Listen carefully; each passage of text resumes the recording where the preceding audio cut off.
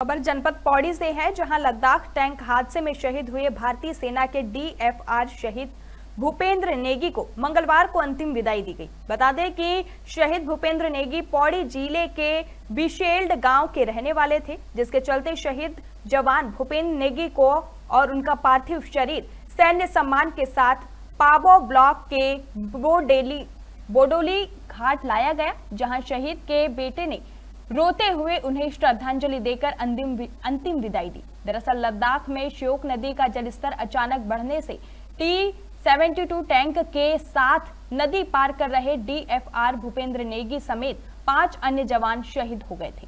इस भावुक पल में कैबिनेट मंत्री धन सिंह रावत और कांग्रेस के पूर्व प्रदेश अध्यक्ष गणेश गोदियाल सहित भारतीय सेना और क्षेत्रीय जनता ने नम आँखों से शहीद को श्रद्धांजलि। वहीं बता दें कि कैबिनेट मंत्री धन सिंह रावत ने कहा कि यह देश के लिए भावुक पल है, लेकिन भूपेंद्र की शहादत देश के लिए गौरव का पल है। पौड़ी से मुकेश पछेती की खास रिपोर्ट। भतीजा जो है देश के लिए वीर हुआ, शहीद हुआ। मुझे इसी से खुशी है और साथ दुखी है कि उसके छोटे छोटे बच्चे इसी से दुख। बाकी आप क्या बोलते हैं?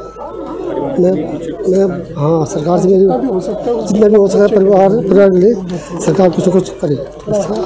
एक तरह से गर्व की बात भी है, लेकिन इस घड़ी में हमारे लिए दुख की बात भी है, क्योंकि चूँकि फ़ौज में हम जाते हैं तो इसी शपथ के साथ में जाते हैं देश के लिए इस तरह से बलिदान होने का मौका मिले, और इस वजह से गर्व का विषय है कि इस जवान को हमारे देश के लिए शहादत दी और दुख की घड़ी की बात इसलिए है कि अभी सारे परिजन, सारे लोग यहाँ पर हम लोग एकत्रित हुए हैं और स्वाभाविक है कि इंसान होने के नाते थोड़ा सा दुख की बात तो है ही है, क्योंकि उसके परिवार में अभी उसके बच्चे, छोटे बच्चे हैं जिनकी देखभाल की जानी है और उसके लिए हम जब तक बरसात प्रयास करेंगे कि आगे उनकी यथोचित देखभाल और जो भी उनको लागू होता है सरकार से, राज्य सरकार केंद्र सरकार से, उसको उनको दिलवाए देखिए, हमारे जो बिसड़ गाँव के हौलदार भूपेंद्र सिंह नेगी जी आज शहीद हुए हैं। और आज ही हम सब लोग उनकी अंत्येष्टि पे आए हैं।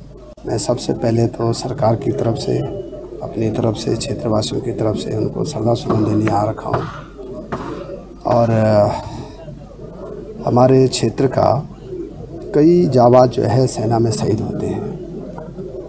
और मैं स्वर्गीय अटल बिहारी वाजपेयी जी को धन्यवाद देना चाहता हूँ कि जब वो प्रधानमंत्री बने तो तब उन्होंने एक नियम बनाया कि हर शहीद, जो भी शहीद होगा, उसके घर में ही असैनिक सम्मान के साथ उनकी अंत्येष्टि की जाएगी और शहीद परिवारों को जो है उचित मुआवजा भी दिया जाएगा। शहीद परिवारों को पेट्रोल पंप भी दिए गए हैं। तो अटल जी का भी मैं आज यहाँ पे धन्यवाद देना चाहता हूँ कि उनके शासनकाल में बड़ा काम